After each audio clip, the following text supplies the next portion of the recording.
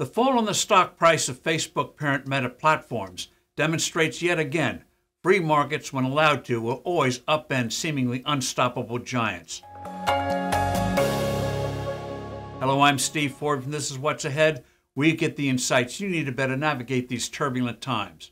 The stock price of Meta Platforms, owner of Instagram, WhatsApp, and most famously Facebook, has suffered an astonishing collapse plunging 75% from its 2021 high before recovering a tad in recent days.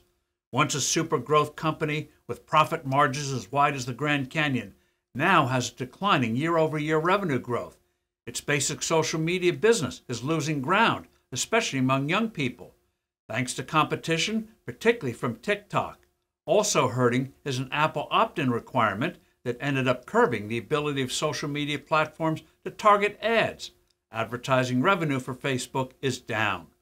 More worrying, the company's multi billion dollar plunge into Reality Labs, the so called metaverse, where CEO Mark Zuckerberg says the company's future lies, has so far been an embarrassing flop.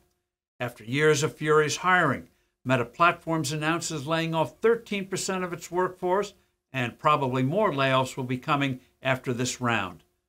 Zuckerberg changed Facebook's corporate name to Meta Platforms barely a year ago as his affirmation of the metaverse's extraordinary promise. But technology glitches and less than impressive experiences for Meta's metaverse users is costing the company dearly $9 billion so far and counting. Meta's flagship metaverse, Horizon World, has left visitors so disappointed that most don't come back after the first month. Of course, the whole metaverse of virtual worlds will evolve into a colossal business involving hundreds of millions of people.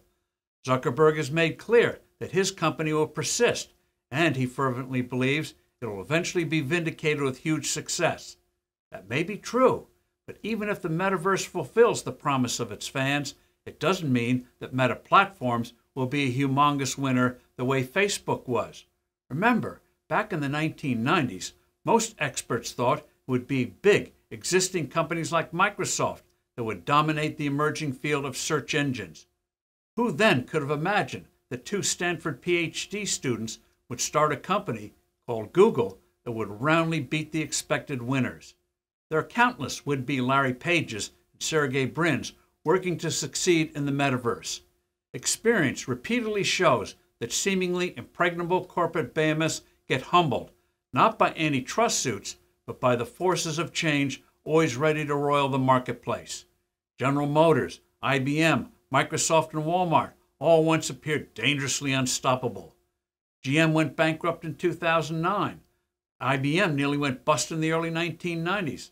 Microsoft floundered for years in the 21st century before recovering its mojo.